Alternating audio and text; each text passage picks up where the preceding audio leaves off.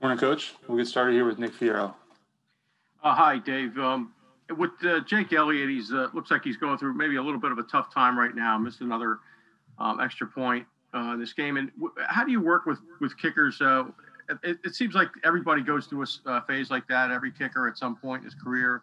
Uh, how do you work with kickers like that? And can you tell when it's a confidence issue, maybe as opposed to something else, mechanical? Yeah, no. Uh, I mean, I know obviously there's a lot of questions about that. We expect to make every single kick that we go out there and have the opportunity to make. I know I feel that way. I know Jake feels the same way. Obviously, we don't expect to miss uh, PATs. Um, it is two in the last two weeks. That being said, I think you know he's still playing really well for us overall. He had a nice, uh, I thought it, that 52-yard field goal in the beginning of the game was really good. Uh, hit a great ball on that. I thought that was a tough kick going that direction in that stadium on that day. So I was proud of that. Uh, but I would say at the end of the day, I mean, I think when we evaluate him, I look at it in a much bigger sense than just any one kick or any one game or any two weeks put together. Um, and throughout the course of this season, you know, he had the 52 yarder there. He's made every kick but one underneath, underneath, or every field goal but one underneath 52 yards. And he does have the two missed PATs there. But I think overall he's still in a good spot. Obviously, we're always working to improve. So I think, you know, obviously this week we'll continue to do what we do, just work on our rhythm and striking the ball, making good contact with that thing, making sure we get that PAT cleaned up. But I got a lot of confidence in him still, and uh, and I feel good about where he's at. Go ahead, Dave, and then Paul. Hey, Dave. On Jalen Reagor's punt return touchdown, uh, what did you see specifically from him, and what can that do for a, a rookie's confidence having that big play? Yeah, no, I was really excited for him to have that opportunity there in the game, and then obviously to take advantage of it. Uh, you know, in the beginning of the play, I mean, th- there's a lot of parts to that play. Obviously, anytime you have a big return like that, you got to have a lot of really good blocking. Um, you know, I think on the left side of the on the left side of the screen or the the field, uh, Grayland Arnold and Avonte Maddox dominated the double team of that gunner on the outside, which gave him a chance to catch that ball out in space right there. He did put it on the ground. I thought his eyes came off the catch a little bit right there at the finish. He started looking at the return a little early what we call running before catching. Um, but uh, he obviously picked the ball back up. And then on the right side of the field, on that right gunner over there, Jacquet and uh, K'Von Wallace did a good job getting him uh, washed down inside. And Duke Riley came in and finished him off there. And then K'Von actually came back around and had another big block for us. It really helped start the thing. And then I think, uh, you know, it, it, was a good play too because there's a lot of things that went into it. Singleton was out on the field. He was playing because Davion Taylor went down. And then we had Richard Rodgers on the field who was out there and he was playing because. Uh, um, TJ Edwards had gone down in the game right there. So we had a bunch of guys out there that were still competing. I think it was seven minutes left in the game.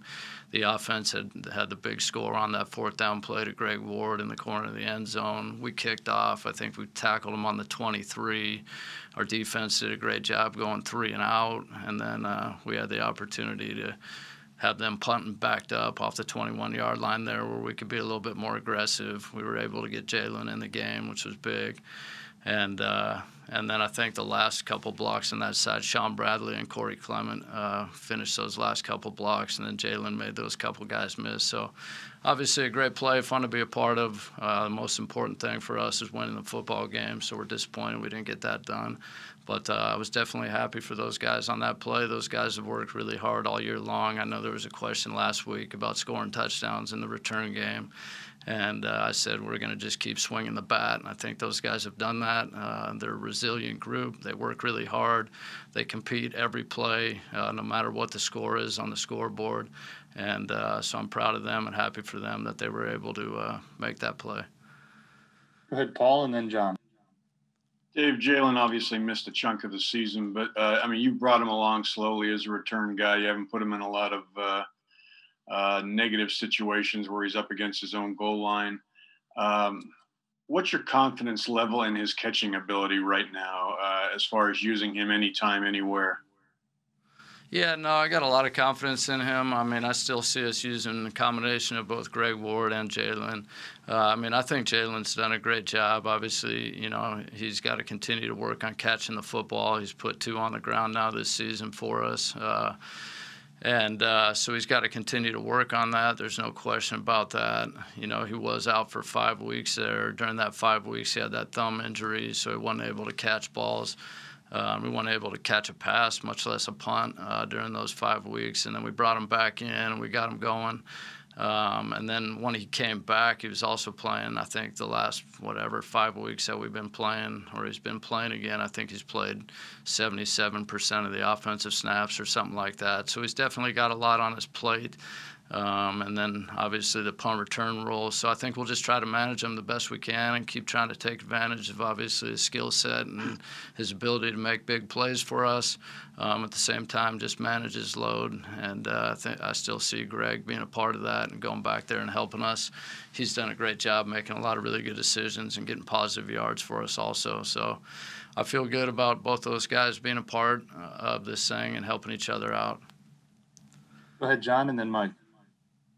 Hey, Dave. Uh, getting back to the PAT thing, and and not just Jake. Around the league, there were uh, a number of missed PATs this week. Now that there's pretty large sample size since it got moved back, uh, have you noticed? Have you studied? Uh, is it more difficult to make a, a PAT than a 33-yard field goal? It's not a ton of 33-yard field goals, but yeah, no, I would say that's probably the same number if you added them all together. I mean, it just kicks are just so different individually, kick to kick. Like I think I've said before, whether it's inside or outside, it's a, you know early in the season, late in the season. There's weather, there's no weather. It's on grass or it's on field turf.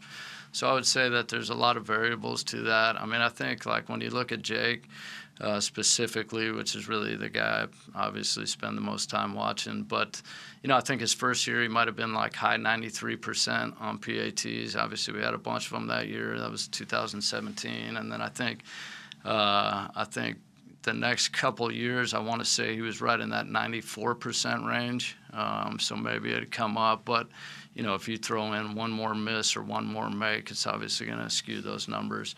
Um, and then I think right now, obviously, sitting just a little bit below that with the two misses. Um, but you know, if you project him making the rest of those things throughout the rest of the year, I think his numbers would be pretty much the same. And I think that's pretty close to what the league average is right there, that 93, 94 percentile. Um, and I think it's kind of held fairly steady there over the last couple of years. I could be wrong on that, but I don't know. That's kind of where I see the PAT numbers. Go ahead, Mike, and then Zach.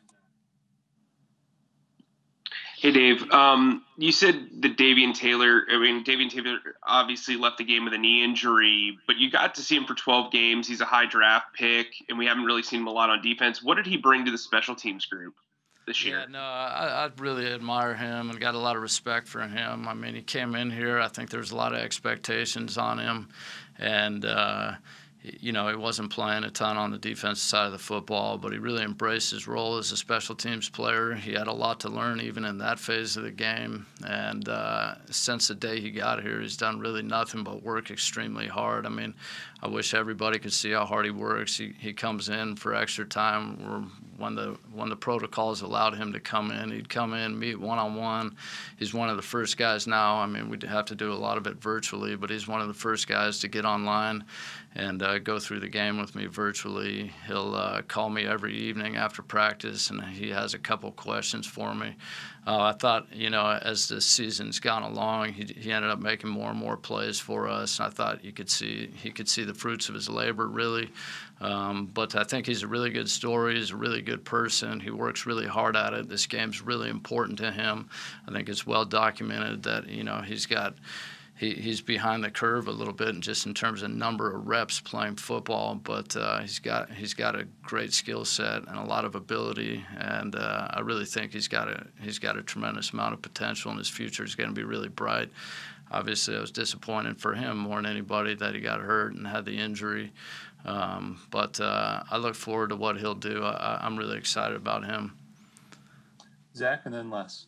Hey, Dave, uh, you cited uh, Jalen's off- offensive workload there, um, but uh, Greg Ward has taken more snaps than him these past two weeks. What is holding you back at this point from making Jalen the full time punt returner?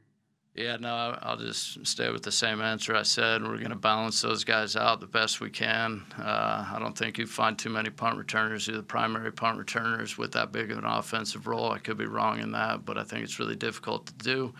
Um, and my decision making is to put our football team in the best possible uh, position that we can put them in on any given play. So we'll continue to balance the rep load. I think some of it has to do with uh, the amount of opportunity that you're going to have on any given return. Not all returns are the same. I think I've talked about that in the last handful of weeks uh, with you guys in these meetings here. Um, and when we think we have an opportunity for him to make an impact in the game, we'll try to get him in there as much as we can. Um, but I think that's ultimately what it goes down to. Go ahead, Les, and then Bo. Hey, Dave. Uh, you mentioned uh, Jalen Reagor is initially dropping the ball on the 73 yarder, which of course isn't optimal. But I know you look at these things, you know, very, very closely. It just seems to me, and I know a lot of people mentioned this on Twitter. The great DeSean Jackson punt return started with him dropping the ball and picking it up. Does that mess up the coverage at all? Does that it, it, it seems like I've seen a lot of those where the punt is initially muffed and the guy picks it up and suddenly there's a lot of room there. Uh, is yeah, that no, just I wasn't here. I, yeah, I wasn't here for that D-Jack play, but I certainly saw it, and uh, I think you've probably seen it. yeah, I definitely seen it. And uh, when I saw the ball ground, go on the ground, to be hon- and after he picked it up, to be honest with you, I thought the exact same thing. Uh, that play came into my mind. Um, but yeah, no, I, I wouldn't disagree with what you're saying. I think there is a tendency sometimes when the ball goes on the ground to to kind of just think that the play's almost over, or now you could, you know, if you're in coverage, now you can just crowd the football.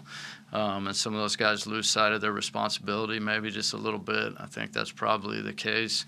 Um, so I don't know if that helped us or not. I think we still had a bunch of really good blocks and all that stuff. But uh, um, uh, yeah, and then I will say, just a handful of coaches and I were talking about really the same topic you're asking about, and I think even some of the defensive guys feels like that can happen when uh, running back fumbles the ball back in the backfield or a snap goes awry, and then all of a sudden a guy picks it up, and then he ends up, you know, a quarterback picks it back up and ends up getting somebody open deep. Maybe some of those defenders let their guard down, so. I think what you're saying is probably, yeah, there's some degree of truth to that. Um, whether or not that affected the play, I can't really tell. But um, we're happy that we're happy with the result, but not every part of the play. There's still a lot of room for improvement for us. Thank you. Go ahead, Bo. Uh, Dave, what goes into deciding which side of the hash you want to kick the, the PAT on and, and not, uh, you know, taking it from right down the middle? Yeah, no, that's a good question. Uh, I think Jake feels just maybe a little bit more comfortable on that left hash if he had to pick. Uh, that being said, we also look at all the numbers. I got a large, a large book of you know all his kicks, not only from games but also practice. And I would say, gosh, it's like slightly higher from the left left hash. I mean, it's like one percent higher uh, from the left hash. Uh, that being said, I think if you look closely, there's times in games where we, we have actually kicked some of those kicks from the right hash. So some of it also has to do with the weather and the conditions, whether it's a left or right wind or right to left wind. Um, but so the wind and weather has some to do with it. But obviously, if everything's neutral or close to neutral, then we'd pick the left hash. Okay. Thanks, Coach.